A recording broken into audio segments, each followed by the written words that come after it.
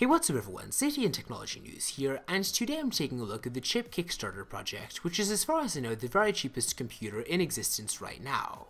This credit card sized PC only costs $9 to buy online, and for that price you actually get some fairly decent specs. This comes equipped with a 1GHz processor, 512MB of RAM, and 4GB of internal storage, which is about comparable to the specs of a low-end smartphone. That's really not bad for the price of a cheap bottle of wine or a one year subscription to Smithsonian Magazine. Now this Linux powered computer is also Bluetooth and Wi-Fi enabled, and you can connect it to a MIDI keyboard and just about any display screen for comfortable use.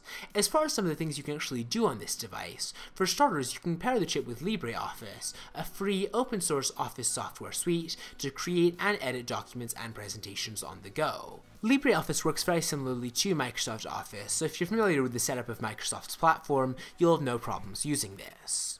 Now to break up all the work that you'll be doing in LibreOffice, this actually comes pre-installed with dozens of games, apps, and photo editing tools as well. Think email, chat, and things like Adobe Photoshop just to name a few. And you can also download thousands of free apps from the open source community as well if you get bored of the apps that are pre-installed. When it comes to web browsing, the chip uses the Chromium browser, and then it also features a media player for audio and video files that you actually watch on your device. Finally, this also comes preloaded with Scratch, which is a program that teaches the basics of coding and allows you to play simple projects and games from thousands of users across the community.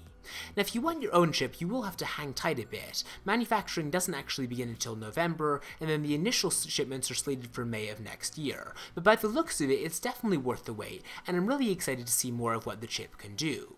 Honestly, this looks like the true successor to the Raspberry Pi, and it even could be the Raspberry Pi killer that we've all been waiting for. It looks relatively straightforward to use, it can do a fair bit for the price you're actually paying, and honestly, I think this is actually going to be a very good deal when it does release.